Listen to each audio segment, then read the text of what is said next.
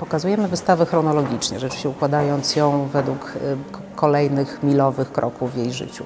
Zaczynamy od okresu warszawskiego, gdzie związana była z y, Wojcie, y, Wojciechem Gersonem, gdzie uczęszczała do niego na lekcje do pracowni dla kobiet i gdzie też nauczyła się pierwszych portretów, gdzie malowała mm, osoby związane z warszawskim środowiskiem kulturalnym. W tym czasie również wykonała mm, bardzo ważną dla niej wyprawę artystyczną do północnych Włoch, półroczną. Początek jej edukacji plus wyprawa, która buduje jej świadomość. Następnie decyzja zapada o wyjeździe do Francji, by tam kontynuować swoją edukację. Decyduje się na naukę w Akademii Julien i ten okres pokazujemy w sali drugiej. Tam zaczynamy od studiów modeli, studiów męskich modeli głównie, głowy, torsu, całej sylwetki. Następnie z tych y, prac wynikają później prace malarskie, portrety, dziedzina, w której Bilińska się szkoliła, w której zresztą szkoliły się kobiety tego okresu i pokazujemy również szkice, mm, szkice mm, kompozycyjne do dużych kompozycji mitologicznych, historycznych, które tylko na y, poziomie szkicu zostały wykonane i tak pozostawione, ale to też bardzo ciekawa część jej twórczości, jedno z zajęć y, Akademii. Następnie zarysowujemy historię samej Akademii, przybliżamy postać założyciela.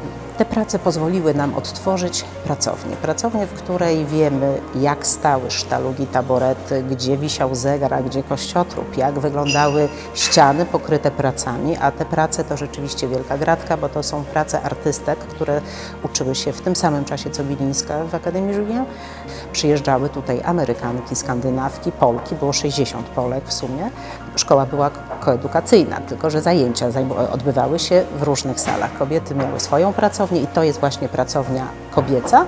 Piętro niżej znajdowała się pracownia męska i obydwie pracownie brały udział w konkursach rocznych. Nagrodą było pozostawienie pracy w rękach dyrektora i ta praca już do końca uświetniała widok całej pracowni. I to są właśnie te najlepsze prace, które pokazujemy tutaj, które w wyniku właśnie tych konkursów wyłaniał dyrektor i, i przychodziły właśnie one na stan szkoły.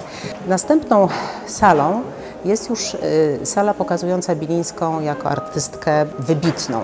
Po pokazaniu na salonie w 1887 roku autoportretu zwraca na siebie uwagę właściwie wszystkich. Portret zostaje nagrodzony medalem, Bilińska staje się znana, dostaje zlecenia na portrety i właściwie od tej pory prowadzi bardzo regularny tryb wystawienniczy. Bierze udział we wszystkich ważnych wystawach paryskich, potem w ogóle francuskich, po czym nawet uczestniczy w wystawach w Londynie, Berlinie, Monachium. Wysyła równocześnie bardzo często prace swoje na wystawy do Zachęty Warszawskiej, do Krakowa, do Lwowa sali, gdzie pokazujemy ten y, ważny autoportret z sukiennic, pokazujemy również prace właśnie zamawiane, prace pastelowe, prace olejne oraz prace rejestrujące środowisko, z którym Bilińska się styka w Paryżu, środowisko y, emigracyjne po powstaniu y, listopadowym. To znajomi Władysława Mickiewicza, państwa duchińskich, zalewskich i mm, te osoby otaczały ją, te osoby portretowała. Pokazujemy również pracę, bardzo piękny portret y, nauczyciela szkoły Batignol, języka polskiego, zresztą też powstańca listopadowego, profesora Kozikowskiego. W aneksie tej sali pokazujemy bardzo cenne y, źródło, czyli memoriał, w którym Bilińska zapisywała y, swoje prace, które wystawiała na wystawach. Także tam Fotografie tych prac połączone z opisem, z wycinkami gazet dały nam ogromną wiedzę o jej dorobku. Kolejną salą jest sala salonowa, czyli sala, gdzie pokazujemy te największe sukcesy, te największe efektowne prace, które na salonach zwracały na nią uwagę. I tu rzeczywiście obok ogromnego portretu rzeźbiarza Georga Barnarda pokazujemy również portret Józefa y, Hoffmana, pokazujemy świetne pastelowe prace, które Bilińska również wystawia na salonach.